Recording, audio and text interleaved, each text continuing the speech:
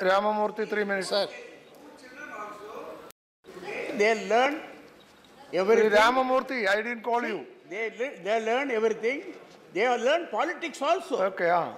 Sri Ramamurthy, please. Yes, sir, yes. thank you very much, sir. I would not like to go into the merits of uh, Right to Education Act.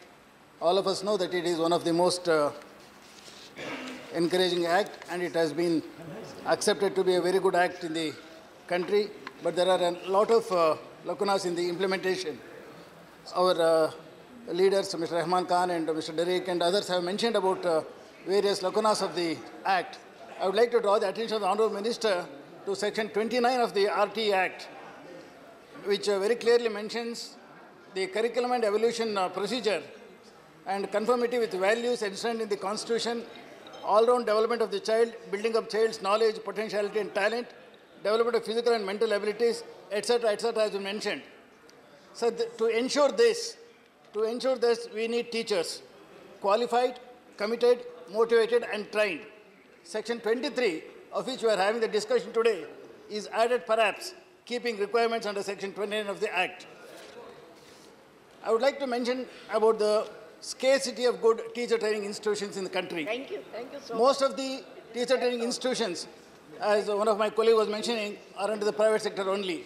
The government should seriously think of establishing quality and high standard teacher training institutions, without which I don't think we'll be able to achieve any standard. We can't reach the goal what we are aiming to reach. I- I'm sure I would like to uh, appreciate uh, the Honorable Minister that he has taken a, a number of initiatives in this regard. At least now, after lapse of a lot of time, this amendment has come into effect. This amendment should have come into effect at least two years back, but at least now he has taken into consideration and this this is coming to effect. Sir, I would like to mention, again, uh, bring it to the notice of the Honorable Minister, that training is a very important component for any sector, particularly a teaching sector. Excuse me, sir.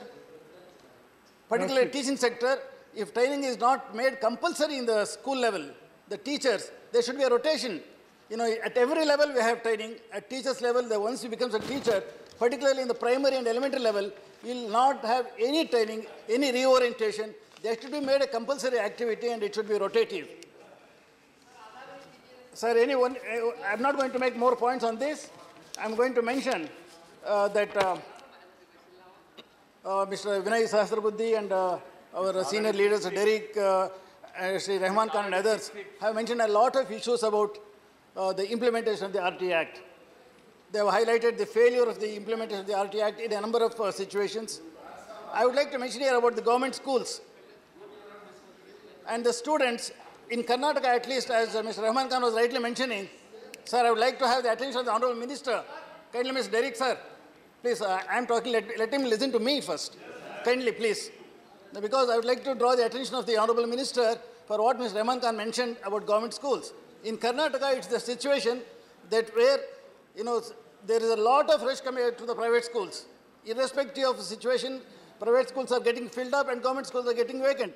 The, uh, the uh, parents want the children to be admitted to the private schools and the government schools they don't want to admit because even if there is RTE, they don't want to send their children to the uh, government schools. A lot I of government cannot- schools, sir, I would like one, one down. minute, sir. Okay, lot of time government over. schools are being closed. Time over, time over.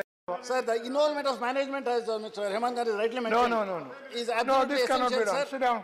Sir, uh, sir, only No, one second, time sir. over. Sir, I need only one. No, no, no, One no. more minute, is- sir. This is, One more minute, sir. No, Sir, no. the relation between the state No, education department and the CBSE and other boards, a large number No. of CBSE schools, sir, No, please no. sit down, sir. Those, A see, large number of CBSE schools are built as per the all right, specification down. of the CBSE, and the fees are also See- charged as per the facilities provided, sir.